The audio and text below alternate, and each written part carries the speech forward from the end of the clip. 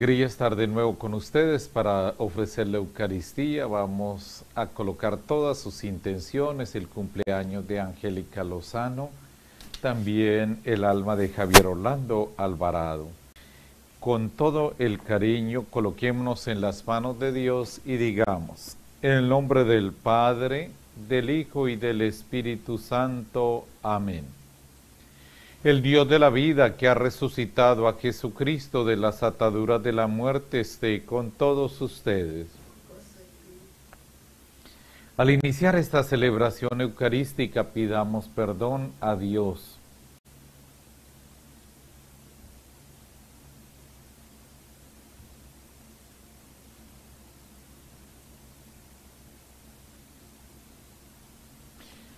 Yo confieso ante Dios Todopoderoso y ante ustedes, hermanos, que he pecado mucho de pensamiento, palabra, obra y omisión. Por mi culpa, por mi culpa, por mi gran culpa. Por eso ruego a Santa María, siempre Virgen, a los ángeles y a los santos, y a ustedes, hermanos, que intercedáis por mí ante Dios nuestro Señor. Dios Todopoderoso, tenga misericordia de nosotros, perdone nuestros pecados y nos lleve a la vida eterna. Señor, ten piedad. Señor, ten piedad. Señor, ten piedad ten piedad. Cristo, ten piedad, ten piedad. Cristo, ten piedad, ten piedad. Cristo, ten piedad, ten piedad. Ten piedad. Señor, ten piedad. Señor, ten piedad. Señor, ten piedad. Ten piedad. Oremos. Señor Dios Todopoderoso, que por las aguas del bautismo nos has engendrado a la vida eterna ya que has querido hacernos capaces de la vida inmortal, no nos niegues ahora tu ayuda para conseguir los bienes eternos. Por nuestro Señor Jesucristo, tu Hijo, que vive y reina en la unidad del Espíritu Santo, y es Dios por los siglos de los siglos.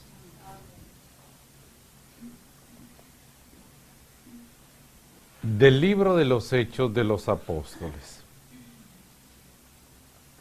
En aquellos días Pablo fue a Derbe y luego a Listra. Había allí un discípulo que se llamaba Timoteo, hijo de un griego y de una judía creyente. Los hermanos de Listra y de Iconio daban buenos informes de él.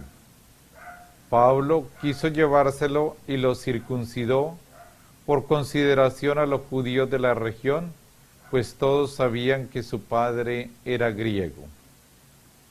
Al pasar por las ciudades, comunicaban las decisiones de los apóstoles y presbíteros de Jerusalén para que las observasen. Las iglesias se robustecían en la fe y crecían en número de día en día. Como el Espíritu Santo les impidió anunciar la palabra en la provincia de Asia, atravesaron Frigia y Galacia. Al llegar a la frontera de Misia, intentaron estar en Bitinia, pero el Espíritu de Jesús no se lo consintió. Entonces dejaron Misia a un lado y bajaron a Troas. Aquella noche Pablo tuvo una visión. Se le apareció un macedonio de pie que le rogaba, ven a Macedonia y ayúdanos. Apenas tuvo la visión, Inmediatamente tratamos de salir para Macedonia, seguros de que Dios nos llamaba a predicarles el Evangelio. Palabra de Dios. Aclamad al Señor tierra entera. Aclamad al Señor tierra entera, servid al Señor con entrad en su presencia con vítores. Sabed que el Señor es Dios, que Él nos hizo y somos suyos, su pueblo y ovejas de su rebaño. El Señor es bueno, su misericordia es eterna, su fidelidad por todas las edades. Ale, ale, ale, ale, ale, ale,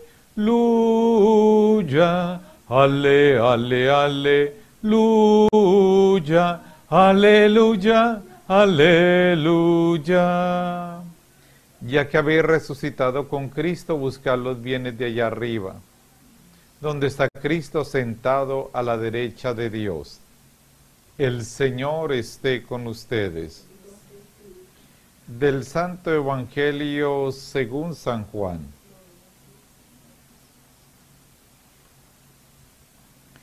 Jesús dijo a sus discípulos, si el mundo los odia, sabed que me ha odiado a mí antes que a vosotros. Si fueran del mundo, el mundo os amaría como cosa suya.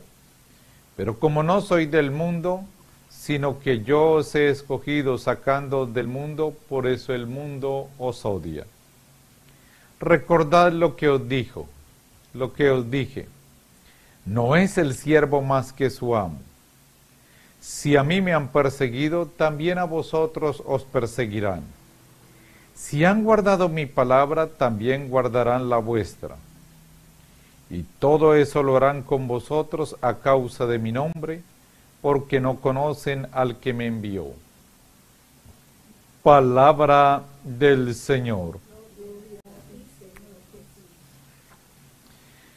Ven Espíritu Santo, llena los corazones de tus fieles y enciende en ellos el fuego de tu amor.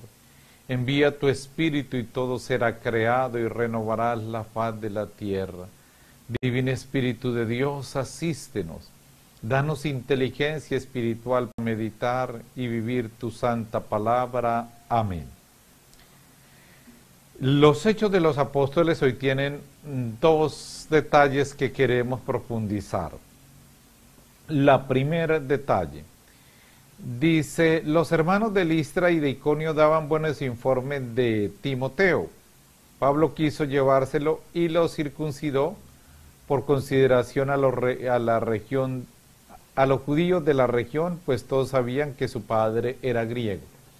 Esto es muy llamativo porque recuerden ustedes que la circuncisión fue una de las razones por las cuales se hizo el concilio de Jerusalén y Pablo había sido uno de los que más se había opuesto a la circuncisión. Sin embargo, eh, es bueno clarificar esto y lo podemos clarificar mirando 1 Corintios capítulo 9, versículos 19 y siguientes. Dice así, Asimismo, sintiéndome libre respecto a todos, me he hecho esclavo de todos con el fin de ganar a esa muchedumbre. Me he hecho con los judíos judíos para ganar a los judíos. ¿Estaban sometidos a la ley? Pues yo también me sometí a la ley, aunque estoy libre de ella con el fin de ganar a los que se someten a la ley. Lo que nos está mostrando entonces el texto sagrado es que esta circuncisión no coloca en peligro lo fundamental de la evangelización. Él lo ve como una manera sencilla de acercarse a aquellos y llevarlos a Dios. Y mire lo que dice después versículo 21. Con los que no estaban sujetos a la ley me comporté como quien no tiene ley en realidad no estoy sin ley con respecto a Dios, pues Cristo es mi ley, pero yo quería ganar a los que eran ajenos a la ley. Compartí la debilidad de los inseguros para ganar a los inseguros. Me he hecho todo para todos con el fin de salvar por todos los medios algunos. Y todo lo hago por el Evangelio porque, quiere tener porque quiero tener también mi parte de él. Es decir, el fin aquí de haber aceptado esta circuncisión en Timoteo es ganar a todas las personas. Y aquí vemos una sed intensa de que todos tengan el conocimiento que los lleva a la salvación de Jesucristo. Entonces él tiene claro que el poder del Espíritu de Jesús resucitado transforma las vidas, trae salvación. Los otros lo ve como son como detalles que no son fundamentales y que no colocan en peligro el evangelio y lo fundamental de nuestra fe. Y después vemos lo que ya aparece en otros campos, pero que uno necesita repetirlo y repetirlo, porque muchas veces esto lo hemos olvidado hoy, y es que los viajes de evangelizadores, las misiones son una acción de Dios. Y esto necesitamos estarlo recordando porque a veces nosotros usamos toda la técnica humana hoy a través de los medios de comunicación y colocamos el énfasis en los medios y no el énfasis en la gracia, el énfasis en la oración, el énfasis en la súplica para que sea Dios quien obre en lo que se va a realizar. Y cómo aparece aquí, dice que las iglesias se robustecían en la fe, crecían en número día a día. Y después aparece dos detalles, dice, el Espíritu Santo les impidió anunciar la palabra en la provincia de Asia. Y después dice, el Espíritu de Jesús no lo consintió, entonces dejaron Misia y se fueron a, a Troas. Aparece después una visión. Esto que aquí aparece, ¿cómo, ¿cómo pueden ellos percibir eso? De que Dios no quiere que anuncien la palabra allí. Pues esto es lo que en los medios de espiritualidad se llama la palabra de conocimiento y la palabra de sabiduría, que son dones del Espíritu Santo. La persona en un intenso ambiente de oración viene a su mente una idea fija de lo que debe hacer o le da a conocer algún aspecto, le advierte y a través de eso Dios le va guiando y le va orientando. Eso es, y es importante que nosotros recuperemos esa gracia y ese don. El otro día leía de un sacerdote eh, en Inglaterra, creo que era, de una comunidad de profunda adoración, de profunda alabanza. Y muchas veces en el, en el ambiente de profunda oración, ellos recibían esta palabra de conocimiento y también palabra de sabiduría lo que debían hacer. Entonces, por ejemplo, ellos sentían que en la mitad de determinada plaza de la ciudad había una persona con determinadas características y Dios los enviaba a ellos. Y efectivamente ellos iban tal como Dios les había manifestado por la palabra eh, de conocimiento y tal como ellos habían recibido en la oración, cumplían con ese mensaje que Dios les había y había la eficacia que Dios mismo había suscitado. Nosotros necesitamos mucho esto, ¿por qué? Porque a veces nos hemos centrado más en los métodos de evangelización y no nos hemos eh, centrado en la primacía de la gracia. Y eso aparece mucho diciéndonos el Papa Juan Pablo II en el, el nuevo milenio ineunte, es decir, ¿Qué debe ser este nuevo milenio? Debe tener una primacía de la gracia, una primacía de la oración y por supuesto una primacía de la contemplación, de poder a través del silencio, poder escuchar a Dios y poder descubrir en toda la creación esa presencia de Dios. Y aparece otra acción de Dios en este texto. Dice, Aquella noche Pablo tuvo una visión, se le apareció un macedonio de pie que le rogaba, ven a Macedonia y ayúdanos. Alguien se puede preguntar, ¿Cómo así una visión? Bueno, aquí está, esta es también otra palabra que Dios da a conocer a través de una visión, que puede ser, eh, puede ser a través de lo que nosotros llamamos un sueño profético, donde Dios manifiesta algo que desea de la persona. Pero estas cosas ocurren dentro de un ambiente de profunda oración y requieren también discernimiento para que cualquier emoción nosotros no la atribuyamos como a una acción del Espíritu de Dios, sino que nosotros podamos tener claro si es de Dios o no es de Dios, que no sea una emoción nuestra o una idea que se nos vino a la cabeza, porque desafortunadamente esa falsa, eh, eh, falta de discernimiento es la que muchas veces debilita todo este aspecto carismático, que es precisamente para anunciar el mensaje de Dios, para llevar con eficacia eh, la evangelización. Y vamos al Evangelio de hoy.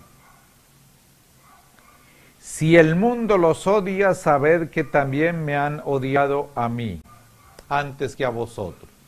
Aparecía primero la primacía del amor y hoy aparece una realidad que no vamos a poder nosotros ignorar. Y es que ante el mensaje de Dios también está la manifestación del odio. El odio no permite a muchas personas pensar. Pero cuando aquí aparece la palabra el mundo, ¿qué es el mundo en el Evangelio de San Juan? El mundo oiga bien hermanos, es todo lo que odia lo sobrenatural. Es el desinterés de saber de Dios.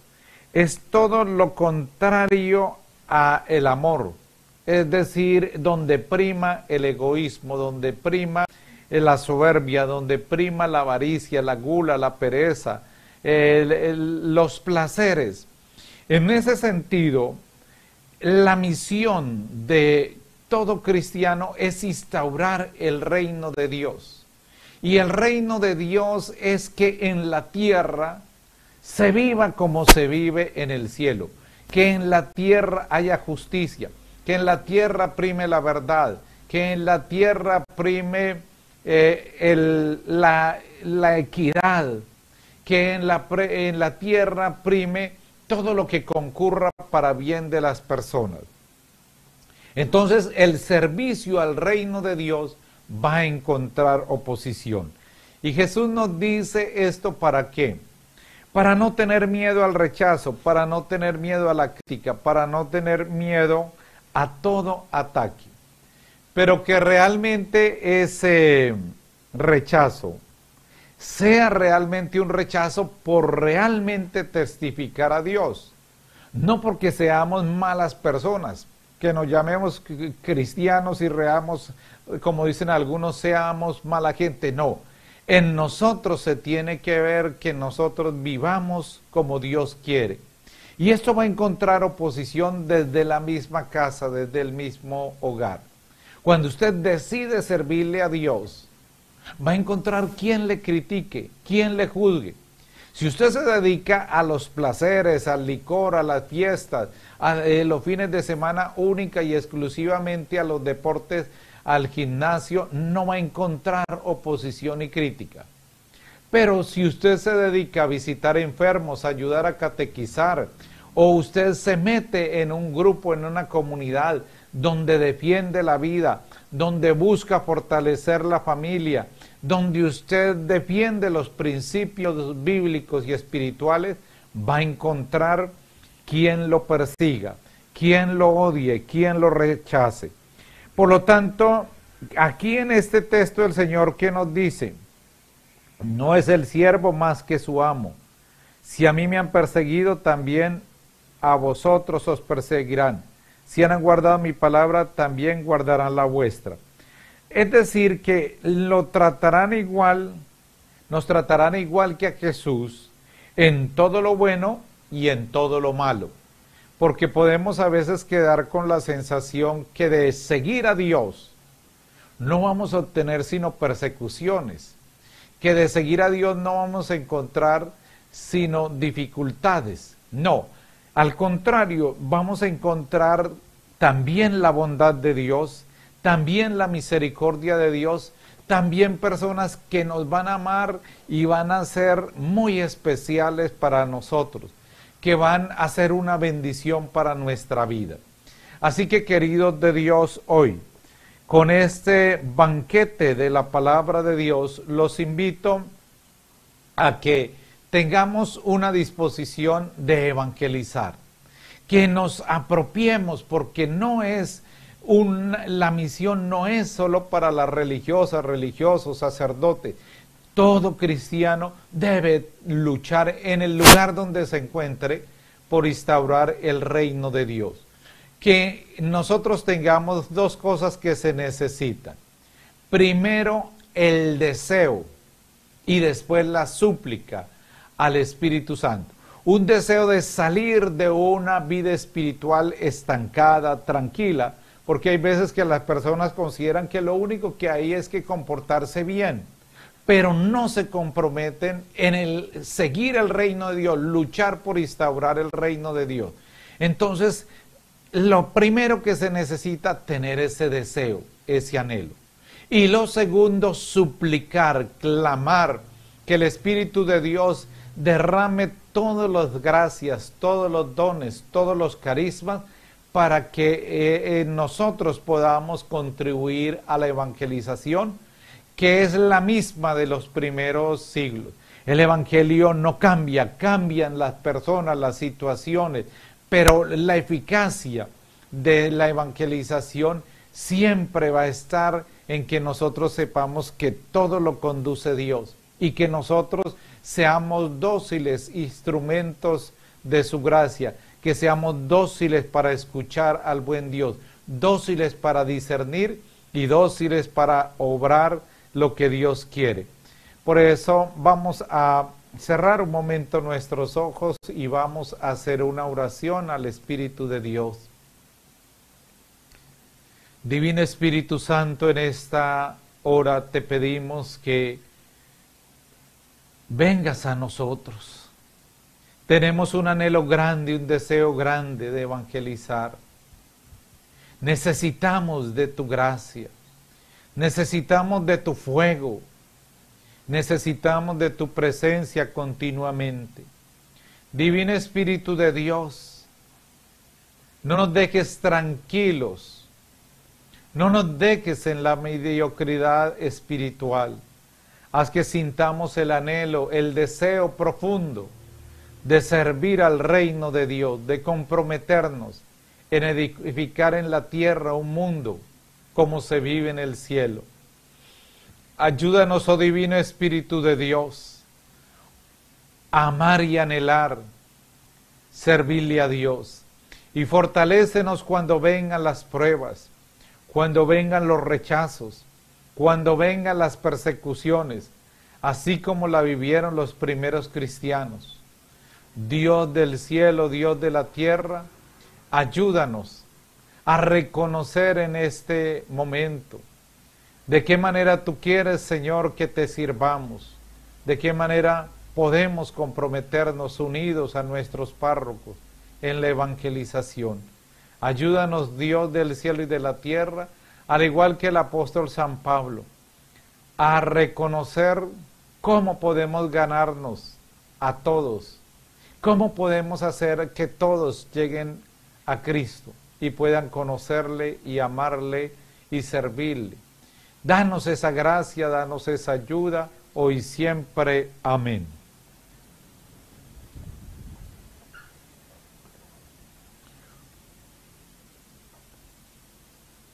Una espiga rada por el sol el racimo que corta el viñador se convierte ahora en pan y en vino de amor, en el cuerpo y la sangre del Señor. Se convierte ahora en pan y en vino de amor en el cuerpo y la sangre del Señor.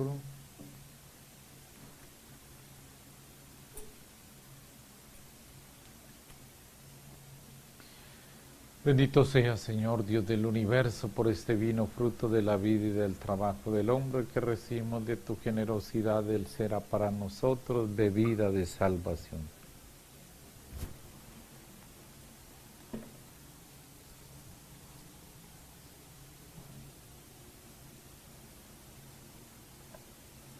En el momento de ofrecer el sacrificio de la iglesia, oren hermanos a Dios Padre Todopoderoso.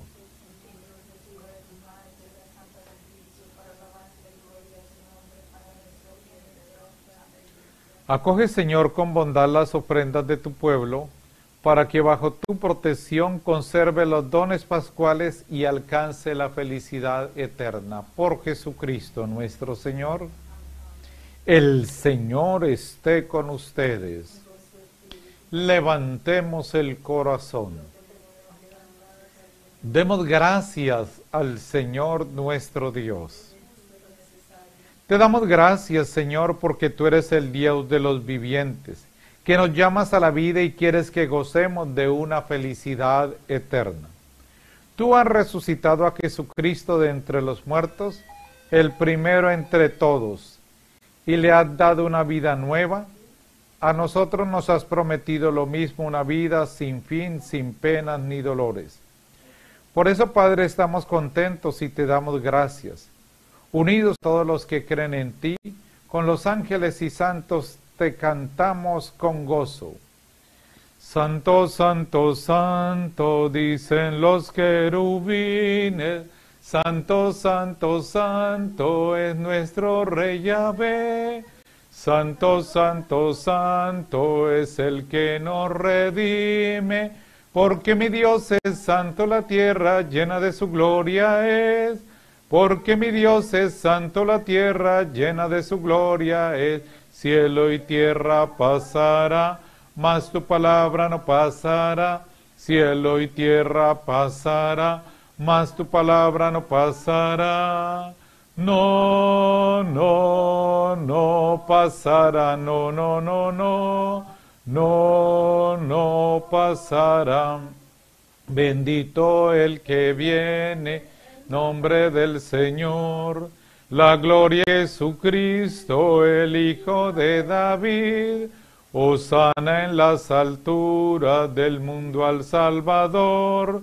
Bendito el que viene en nombre del Señor. Bendito el que viene en nombre del Señor. Cielo y tierra pasará, mas tu palabra no pasará. Cielo y tierra pasará, mas tu palabra no pasará. No, no, no pasará, no, no, no, no no, no pasará.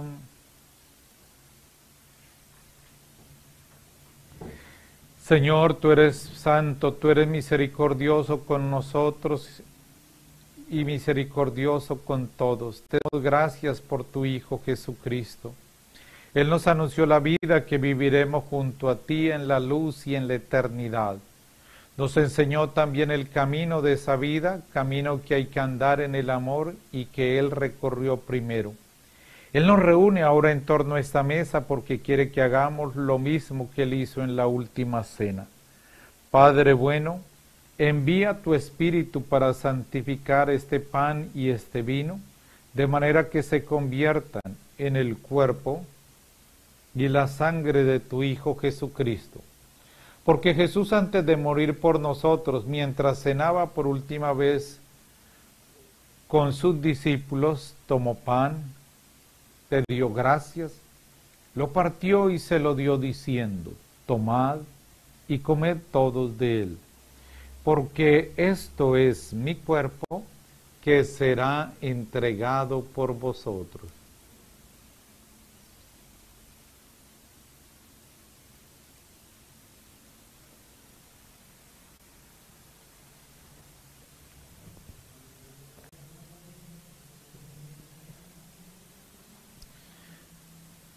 Del mismo modo tomó el cáliz lleno de vino, te dio gracias de nuevo y lo pasó a sus discípulos diciendo, tomad y bebed todos de él, porque este es el cáliz de mi sangre, sangre de la alianza nueva y eterna, que será derramada por vosotros y por muchos para el perdón de los pecados. Y le dijo también, haced esto en conmemoración mía.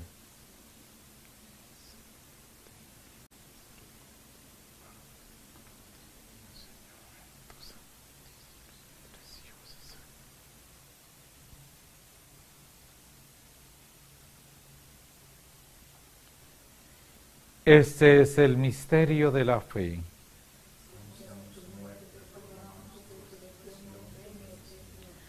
Por eso, Padre Santo, estamos reunidos delante de ti y recordamos llenos de alegría todo lo que Jesús hizo para salvarnos en este santo sacrificio que Él mismo entregó a la iglesia. Celebramos su muerte y su resurrección. Padre que estás en el cielo, te pedimos que nos recibas a nosotros con tu Hijo querido él aceptó libremente la muerte por nosotros, pero tú lo resucitaste. Por eso llenos de alegría te decimos, Señor, tú eres bueno, te alabamos, te damos gracias. Él vive siempre junto a ti y está también con nosotros. Señor, tú eres bueno, te alabamos, te damos gracias. Él vendrá lleno de gloria al fin del mundo y en su reino no habrá pobreza ni dolor Nadie estará triste, nadie tendrá que llorar. Señor, tú eres bueno, te alabamos y te damos gracias. Padre Santo, tú nos has llamado a esta mesa para que en la alegría del Espíritu Santo comamos el cuerpo de tu Hijo. Haz que este pan de vida eterna nos dé fuerza y nos ayude a servirte cada día mejor.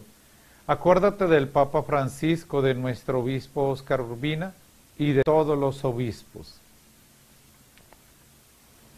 Llena los corazones de tus hijos con la alegría de la Pascua, para que le anuncien a todos los hombres que viven tristes. Acuérdate también de nuestros hermanos que han muerto.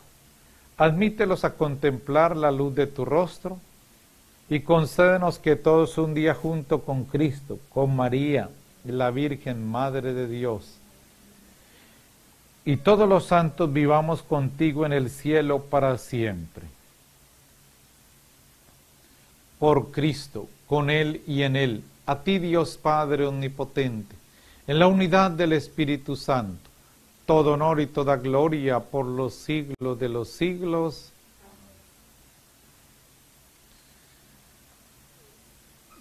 Padre nuestro que estás en el cielo, santificado sea tu nombre.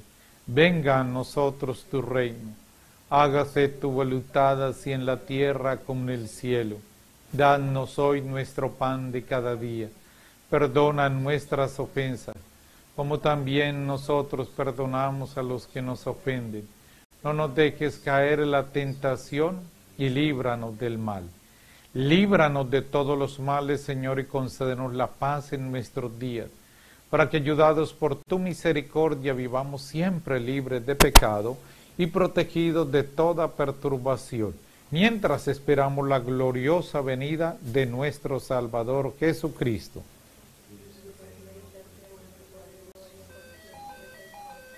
Señor Jesucristo, que dijiste a los apóstoles, la paz os dejo, mi paz os doy.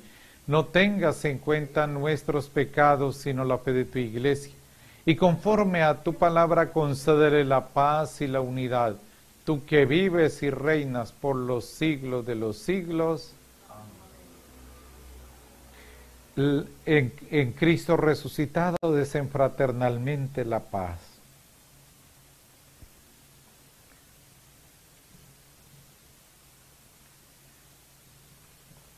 Cordero de Dios, Cordero de Dios que quitas el pecado.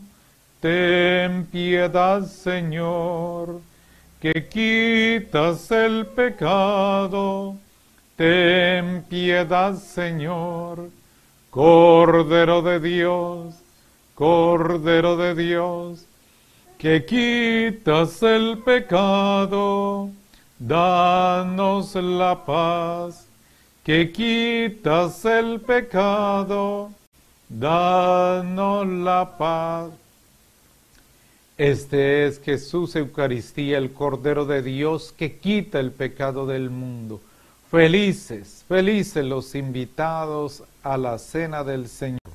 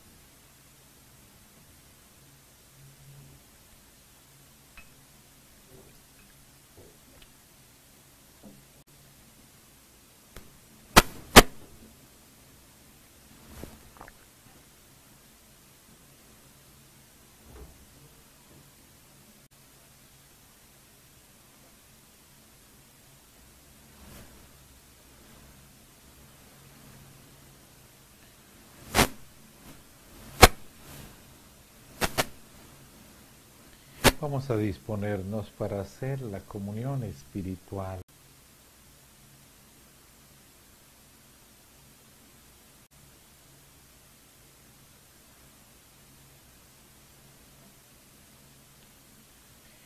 Creo, Jesús mío, que está realmente presente en el santísimo sacramento del altar.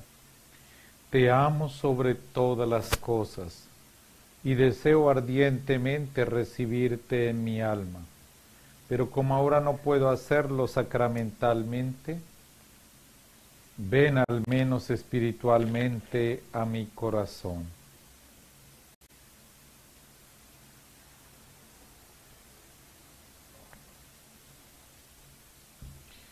Y como si ya te hubiese recibido, te abrazo y me uno todo a ti no permita, Señor, que jamás me separe de ti.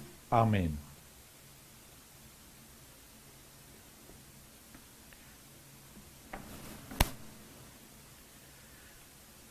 Oremos. Dios Todopoderoso, no cese de proteger con amor a los que has salvado, para que así, quienes hemos sido redimidos por la muerte de tu Hijo, podamos alegrarnos en su resurrección por Jesucristo nuestro Señor. Concédele, Señor, el descanso eterno. El alma de Javier Orlando, por la misericordia de Dios, descanse en paz. Amén. Quiero dejarles una tareita. Hay un libro que se llama Pandemonium. Es un libro que está en internet, un análisis de esta pandemia y que nos ayuda a ver cómo detrás de esta pandemia también hay intereses anticristianos. Son un análisis de varios expertos. Te lo pueden conseguir, o, eh, aparece también como de la pandemia. Y son expertos que nos ayudan también a ver desde un plano otros aspectos que muchas personas quieren utilizar con fines no muy cristianos, como un ejemplo en el Ecuador que les quieren dar ayuda con la condición de implementar más el aborto. Esos son los planes de los, de los hijos del mundo, de las tinieblas, y necesitamos conocerlas para fácilmente no caer en las garras de ellos. Entonces les recomiendo ese libro, Pandemonium, o de la pandemia de estos expertos, lo pueden bajar gratis. Vamos a consagrarnos en este sábado a nuestra Madre. Oh Señora mía, oh Madre mía, yo me ofrezco enteramente a vos y en prueba de mi filial afecto os consagro en este día mis ojos, mis oídos, mi lengua, mi corazón, en una palabra todo mi ser, ya que soy todo vuestro, oh Madre de bondad, guardadme y defendedme como hijo vuestra. Amén. Le damos un saludo a los hermanos, los amigos de Jesús de Guayaquil, Ecuador. Hay grandes testimonios de cómo se han eh, recuperado por la fe muchas personas de COVID y los seguimos colocando en oración. El Señor esté con ustedes. Y la bendición de Dios Todopoderoso, Padre, Hijo y Espíritu Santo descienda sobre ustedes y les acompañe siempre. Gracias por haber estado con nosotros. Podemos seguir en paz. Aleluya, aleluya.